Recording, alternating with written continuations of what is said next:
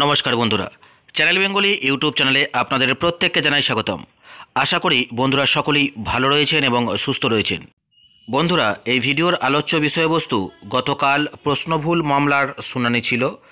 সেই শুনানিতে কি হলো সেটাই এই ভিডিওর আলোচ্য বিষয়বস্তু। গতকাল শুনানিটি প্রায় দেড় ঘণ্টা ধরে চলে। এই শুনানি মোটামুটি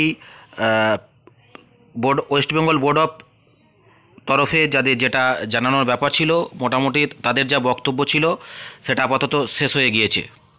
ওয়েস্ট বেঙ্গল বোর্ডের যে সমস্ত কথা, সেগুলো হচ্ছে দু তিনটি পয়েন্ট। মোটামুটি ধরুন, ওরা প্রথমত বলছে যে, আমরা সকলকে নাম্বার দিতে পারব না। মানে সেই সময়ের মধ্যে যারা কেস করেছিল, তাদের ঘরে আমরা নাম্বার দিয়েছি।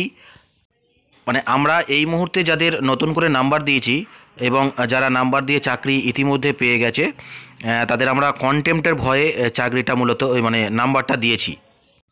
আর একটা বিষয় হলো এক্সপার্ট ওপিনিয়ন নিয়ে যারা মোটামুটি নাম্বার চাইছে, তাদের সকলকে কিন্তু দেওয়া সম্ভব নয়।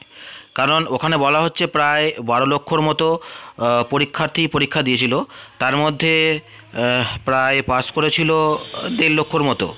তাহলে এই যে এগারো লক্ষর মতো রয়েছে, সকলকে নাম্বার দিলে কিন্তু মোটামুটি একটা ফ্যান্ডোরার বক্স একটা খুলতে হবে এরকম একটা বিষয়।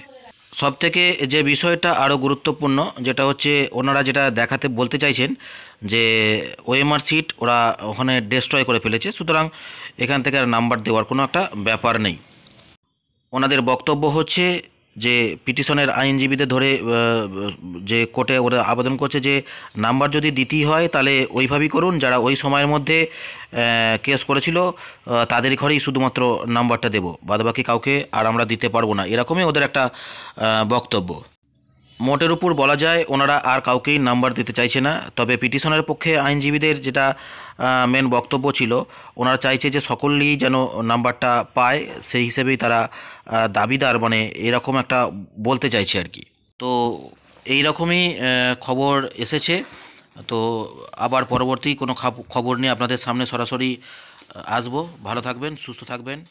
নমস্কার।